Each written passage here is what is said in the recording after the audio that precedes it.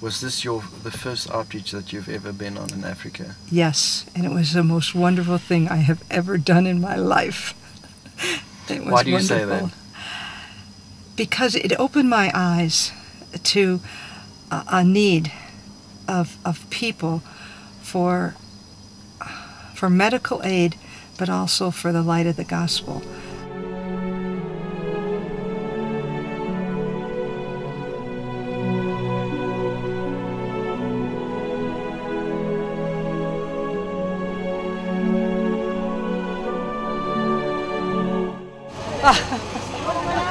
Trying to find glasses for people. we now have a lady, our strongest glasses are not good for her.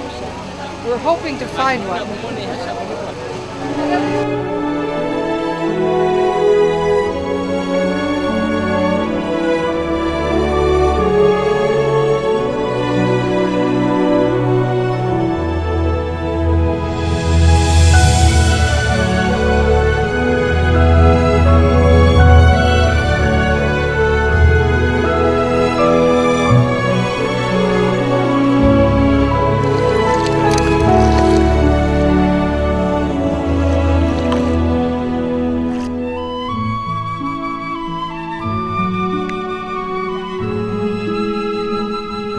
Just tell me when it gets clear.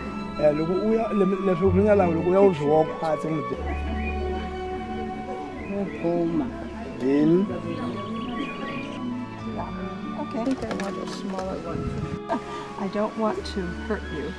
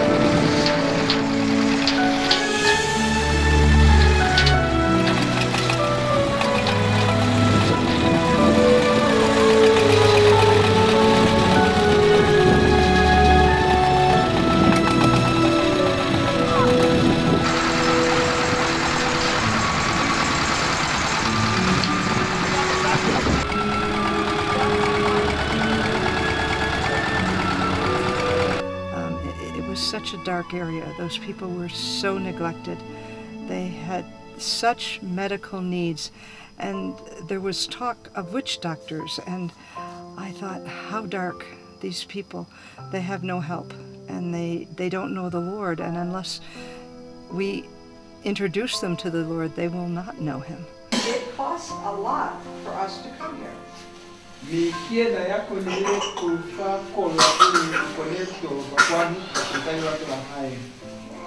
I had to come from America to Africa.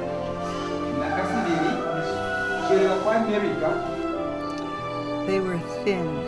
The people were so thin and so poor, and their clothes were so ragged. And they came to us in uh, like a taxi that was oxen dragging a sledge. And they were sitting on the sledge.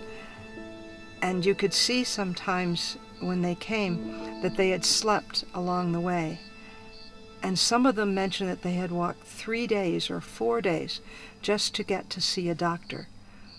And I thought, what a need that you would walk three days and sleep on the ground and they slept on the ground waiting for the doctor. If the end of the day had come, they would just sleep right there.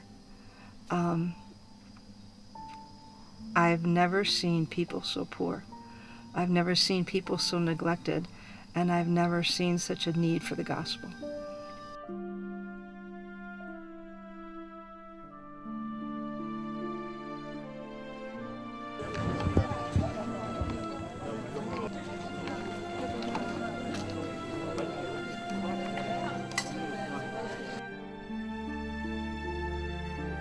Has been wonderful helping people.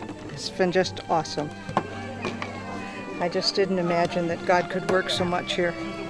And the, the people that came to the Lord at the wet movie, uh, it just filled my heart. It was wonderful. And they, they, you showed uh, the passion of the Christ, and 20 people came, and the next day, first three, and then more, and then more, and then more. Um, and it just, it, it just filled my heart with joy. And uh, we don't just help their bodies, we help their souls. I think, I think we could come here um, 10, 12 times a year and, and, and, and we would just touch the edge of their physical needs and, and their spiritual needs because they're still going to the witch doctor. They're still, they still are living in darkness, spiritual darkness, and there's a real need here. We could do so much more if we could just come more.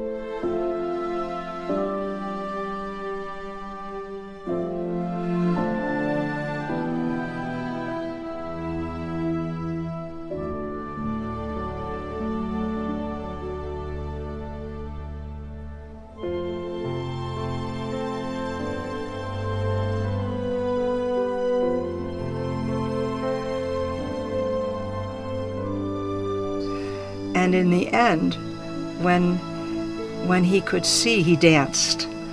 And um, and this was the first that I had seen in these people any sign of joy. They they they're a very sad people. They didn't have a lot of joy, and um,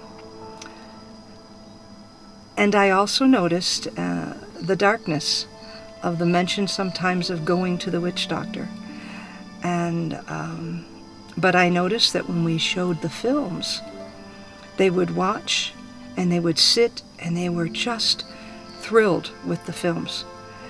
But the response to the films was more exciting because they wanted to hear more about the Lord. They wanted to know about Jesus.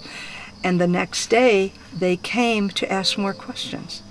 So I know it wasn't just that the film was good, it, we reached their hearts.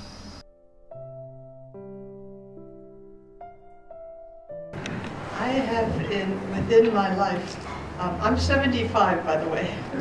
Um, I'm not a little. I'm not a young person. And most of my life, I have fought abortion. I have been pro-life. I was pro-life professor. That's that's amazing to be in a, in a big university, State University of New York. Very, very liberal, very the first time I got arrested for uh, doing something at a, at a clinic, um, one of my students fingerprinted me and he says, the prof is going to jail, the prof is going to jail. And I, I've, I've endured a lot of things, but I have been blessed to serve giants. You know, it is a blessing to serve.